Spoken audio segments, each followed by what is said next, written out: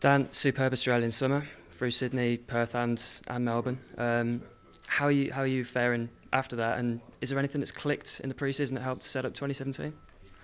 Uh, no, it's um, I feel all good, and ready to go on uh, on Friday. Um, yeah, sort of just trying to carry on from where I left off in uh, in Melbourne. Uh, you'd played all three of the the um, singles potential singles opponents and challenges coming into this. So have you been able to give Leon a bit of intel going into this tie?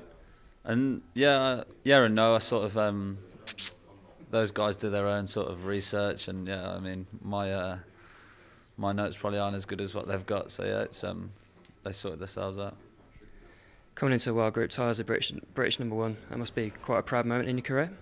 Yeah, it's going to be nice to uh, sort of go out and open up the tie, and hopefully put a point on the board for the team. And uh, yeah, it's um, you know it's not sort of it's not about me, it's about the team. So yeah, hopefully we uh, get the win.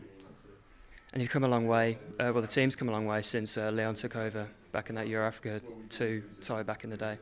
Um, to come in without Andy in the team and still be coming through looking as like favourites has got to be a good feeling coming into this.